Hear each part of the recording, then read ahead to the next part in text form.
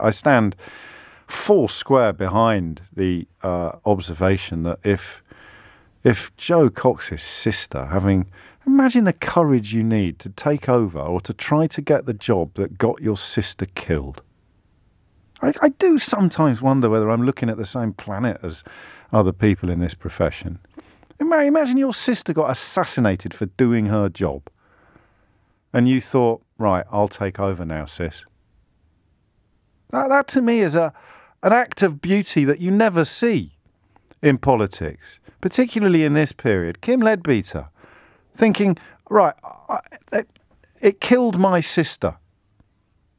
If Jo Cox had not been a Labour MP, if she had not been the Labour MP for Batley and Spen, she would be alive today. And her big sister Kim had a look at the lie of the land and she thought, right, I'll do it.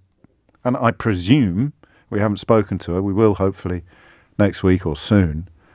She had a look at the lie of the land and she thought, I'll do it for you, Jo.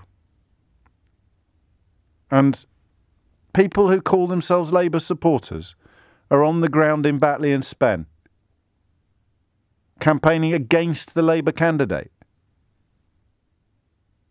campaigning against the sister of the woman who was murdered by a white supremacist terrorist while claiming somehow to represent the interests of people who are victims of racism or discrimination.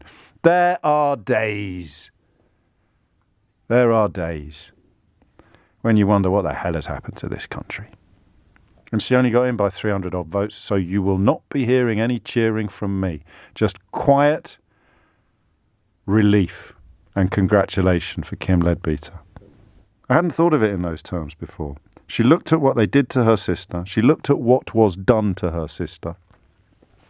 And she thought, I've got this.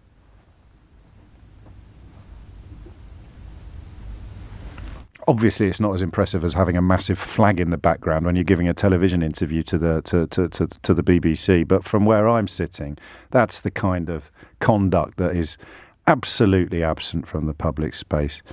She's an absolute legend. What an incredible thing to do.